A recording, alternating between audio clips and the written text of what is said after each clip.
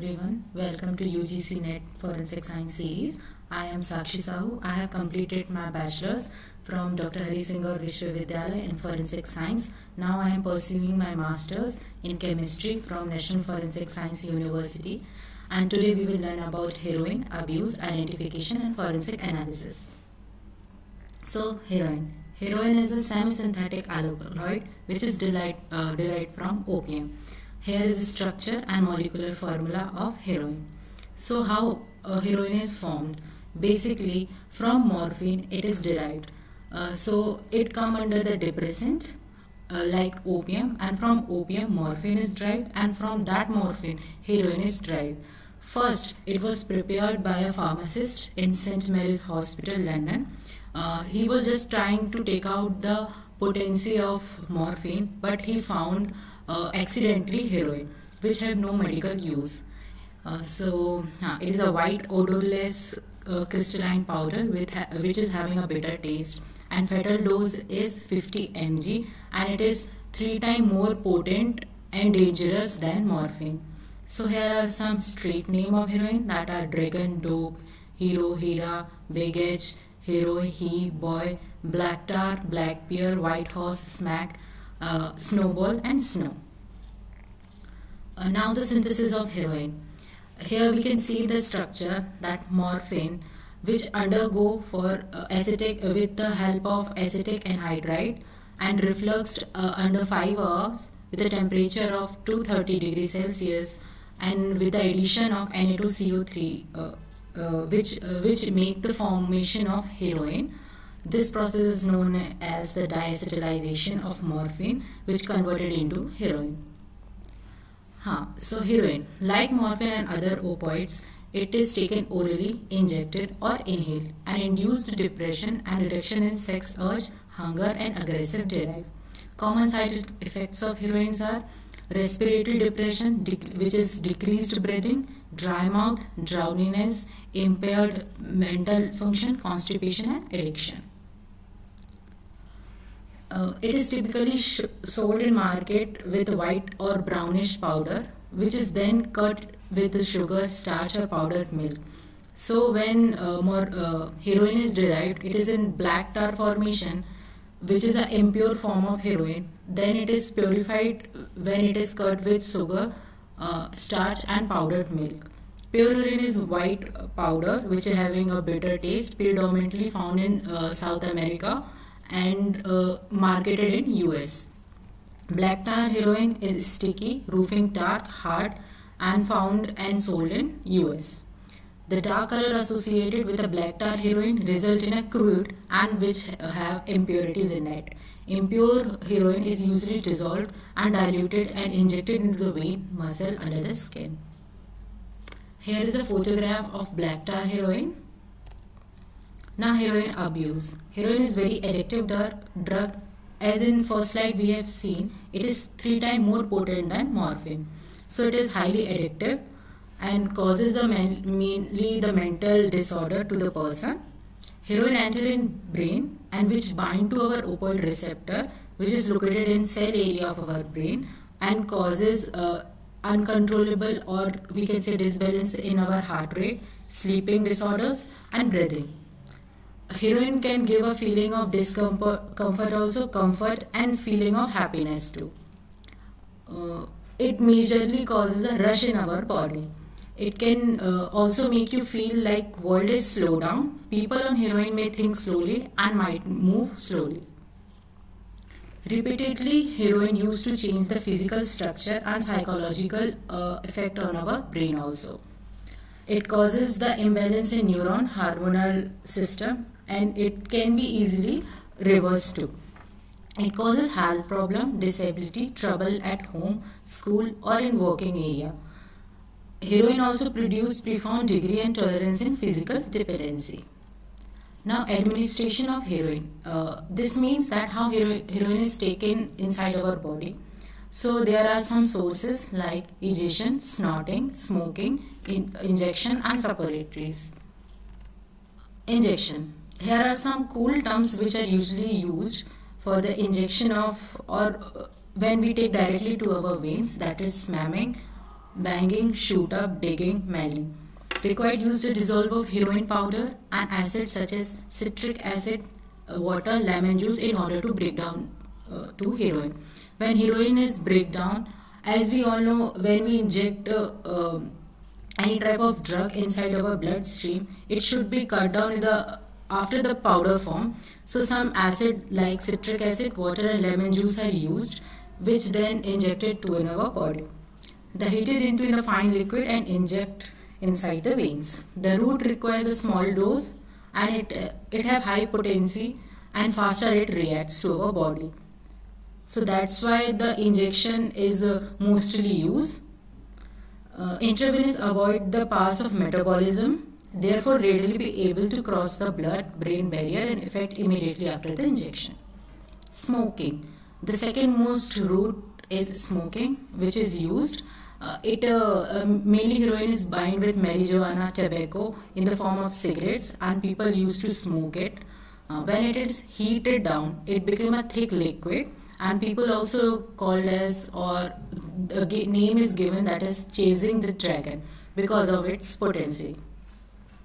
Snorting. Snorting is a route by which people usually take uh, directly to their nose. So heroin is one. Uh, this type of method is least used. Usually, they crush the heroin into the fine powder and gently inhaled it. Uh, it uh, like heroin is uh, directly taken with the nose or snorting. Same, uh, cocaine and other drugs are also used. Heroin is absorbed in a soft tissue in muscular uh, membrane of our sinus cavity and which directly go to our bloodstream. By snorting, user bypass first pass meta metabolism in liver. The user may still get high on drug from snorting and experience of not but will not get a rush. A rush is caused by the large amount of heroin which enter to our body at once. When the drug is taken through the nose, the user does not get rush because Drug is absorbed slowly rather than instantly. Egestion or ingestion. Uh, it is a type of oral intake of heroin which is taken directly to our mouth and which undergo the metabolization and then go under our liver orally. It, uh, it is in the liver, heroin converted into the morphine again. Suppositories. These methods are administered are commonly carried using the oral syringes this type of administration usually used in a, a anal uh, route. Mm. The rectum and vaginal canal in various majorly of drugs would likely to be taken through the membrane lining their walls. Withdrawal symptoms. The onset of withdrawal symptoms are vary among to the users. So here are some effects which are seen under 36 to 48 hours of taking of heroin such as jitters, chills, vomiting, diarrhea, bone and muscular pain, trouble in sleeping, cold flashes, leg movement which you can't control. Heroin overdose. Heroin overdose depress heart rate and breathing. People who uh, undergo the overdose of heroin, doctor usually recommend a tablet or medicine uh, which name is uh, Narcan. Narcan acts as antagonist and reverse the effect of heroin Physiological effect. Here are some physiological effect of heroin that is euphoria, a dry mouth, warm flushed skin, uh, arms and leggy which feels our leg to be heavy, heavy, upset stomach and vomiting, itching, a fuzzy brain, switch in and out from drowsiness. Long time effect of heroin which can lead to collapsed vein, insomnia, infection in heart lining and valves, Skin infections like abscesses and cellulitis, a higher change in getting of HIV and AIDS, hepatitis B and hepatitis C. Uh, liver and kidney disease, mental disorder, lung disease like pneumonia and tuberculosis. Damaged tissue inside the nose of people who sniff or snorted, constipation, stomach cramping, sexual dysfunction for male, irregular menstrual cycle for women forensic identification of heroin. Uh, so uh, here are two methods such as chemical testing and instrumentation analysis. So first we will see the chemical tests. So most common one is Marquis test which is a spot test used for alkaloids. So reagents are 1 volume of formalin and 9 volume of concentrated H2SO4. Uh, so by this we can find the alkaloid. Uh, mm-hmm. This test is performed by scraping off a small amount of alkaloid present, adding a drop which changes the color from uh, normal to a purple violet color which indicate the presence of heroin. So advantages of using the chemical test are they are simple, rapid, sensitive and specific. Another test is Mecke test. It is, a, it is also a type of spot test in which reagent are selenous acid and concentrated H2SO4 which changes the color into blue-green color. Uh, the advantage remains the same that is simple, rapid and sensitive. Another chemical test is Froehde reagent which is also a type of spot test in which reagent is molybdate salt which is heated with concentrated H2SO4 and which changes the color into violet to green and then finally to blue. Concentrated nitric acid test. This test is usually used to differentiate between heroin morphine. So it gives yellow color which slowly changes to green color.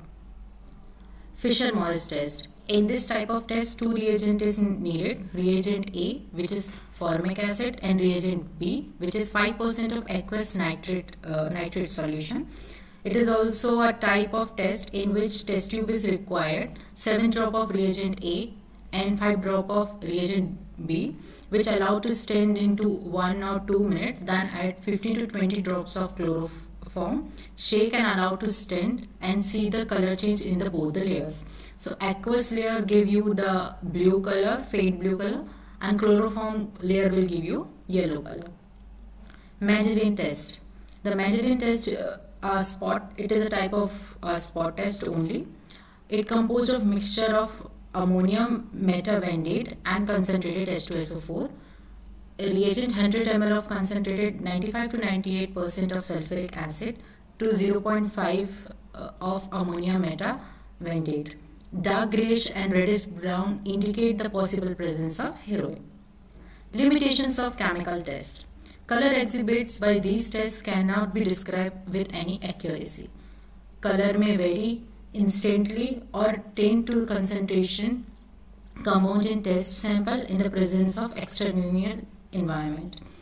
In addition, their assessment is always a subjective one. Some of these complexes are formed unstable so that color change fade with the time. Most of the drug of abuse are commonly routinely encountered, diluted with a variety of other substances, and one begin with appreciate the difficulties that can arise in real world with the color test. So after that, we will see the instrumentation analysis, which include TLC, that is thin layer chromatography in which mobile phase is required that is chloroform, and n-hexane and triethylamine with this 994 ratio, chloroform and cyclohexane and diethylamine with 8 and 3 ratio, toluene and diethylamine with 85 and 15 ratio. And uh, after the TLC, the visualization is takes place with the help of UV light uh, under 254 nanometer Dragendorff reagent spray which give yellow color spot acidified potassium iodoplatinate reagent spray which give blue color spots. Thin layer chromatography. It is inexpensive rapid sensitive and uh, only a small amount of analyte is required for the analysis. It is a flexible technique for both stationary phase and mobile phase and it is used widely uh, ranging from polar and non-polar materials. A variety of visualization techniques are used. However, in many countries, it is not acceptable as a single technique for drug identification.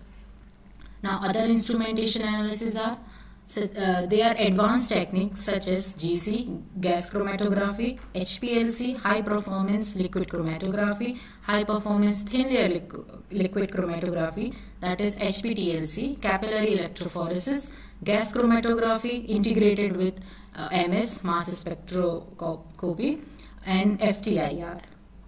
If you like this video, please hit like, share and subscribe and you will get the notes in description box. Thank you.